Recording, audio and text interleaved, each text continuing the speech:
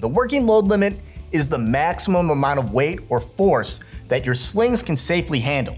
The ultimate breaking strength is the maximum amount of weight or force that the sling can handle before it does fail.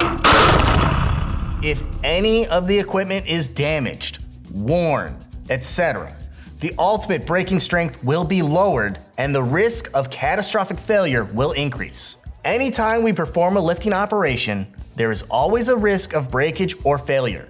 The competent person performing the lift must take appropriate steps to mitigate that risk.